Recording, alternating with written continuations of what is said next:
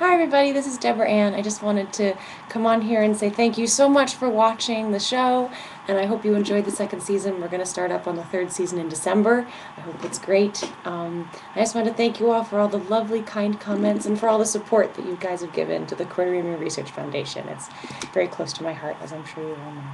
Um, so, anyways, have a great winter, and uh, I hope uh, we'll all be talking soon. Bye.